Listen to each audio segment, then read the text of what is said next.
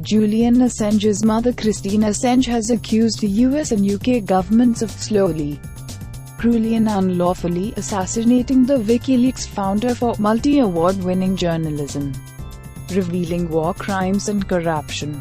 She tweeted a link to a report from UN Special Rapporteur on Torture, Nils Melzer, who said that the collective persecution of Assange must end now. Subscribe to the channel for more news.